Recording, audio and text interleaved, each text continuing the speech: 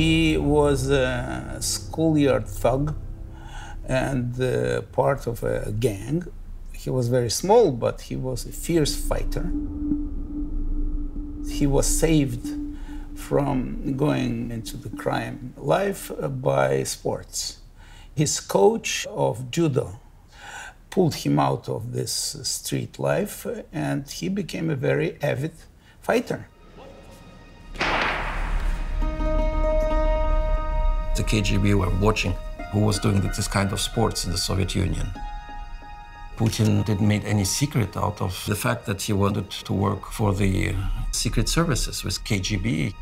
He dreamt uh, to become a kind of Stirlitz, which is uh, the Russian version of James Bond. Не думай на секунду свысока. Наступит время, сам поймешь, наверное. Asking me, you know, do you remember the character Stirlitz? It's like asking anybody in, in this country, do you remember the character Bond? You know, yes, you remember the character Bond.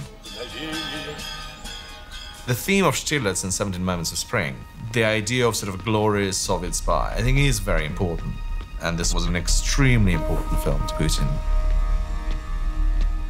He was 21 years old when 17 Moments of Spring was released. And two years later, he joined the service. He joined the KGB.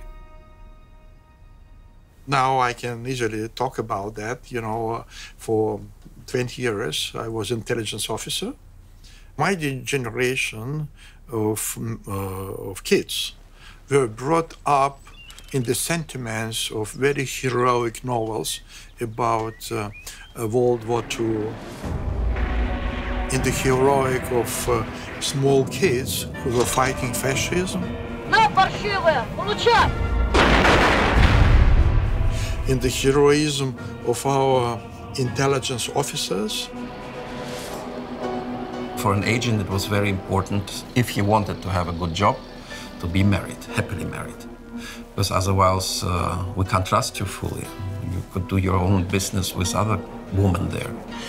We would dislike this. Putin's wife, Lyudmila, when he dated her for the first time, he never uh, told to her that he was working for the KGB. He was telling her that he worked for the police. And he examined her character. He sent his friends, and uh, they wanted to date her as well. And she said, No, I have already a boyfriend. I have Vladimir. And that was enough for him to be proud of her and to understand that she really likes him.